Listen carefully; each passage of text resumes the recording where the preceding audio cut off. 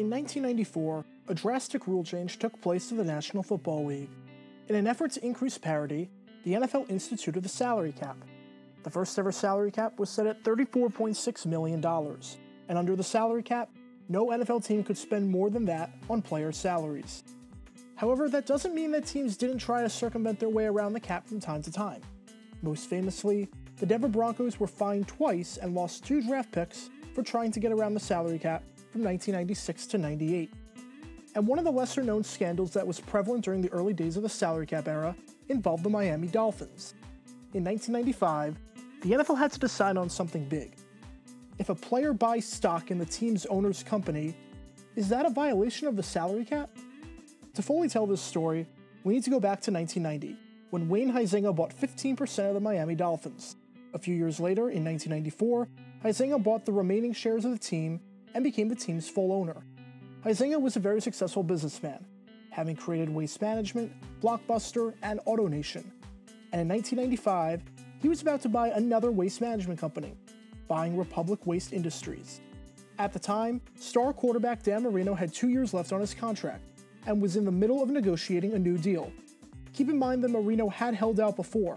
In 1985, he walked out of training camp and sat for over a month after failing to strike a deal with then owner Joe Robbie.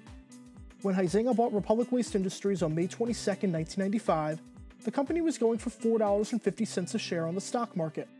Around this time, Dan Marino purchased $390,000 worth of stock in the company.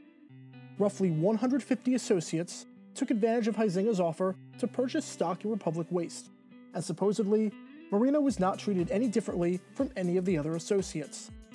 This investment by Marino turned out to be a really smart one because roughly four months later, on September 1st, the stock closed to $22. Dan Marino's $390,000 investment was now worth roughly 2 million. Immediately, this raised eyebrows. The owner of the Dolphins offered Dan Marino an opportunity to buy stock in his company. And now, Marino was making millions as part of something that wasn't even on his NFL contract. So, does the purchase of stock in the owner's company violate salary cap rules? Surprisingly enough, the NFL ruled that this was completely legal. The Dolphins did not commit a salary cap violation.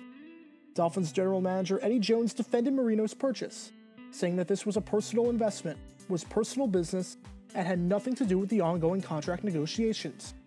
A big reason why this wasn't a violation in the eyes of the NFL was because Marino was supposedly not treated any differently from any of the other 150 people who bought stock in the company around the same time and it helped that Marino was a longtime player in the stock market and has had some wins over the years like this one and some massive losses. So there you have it.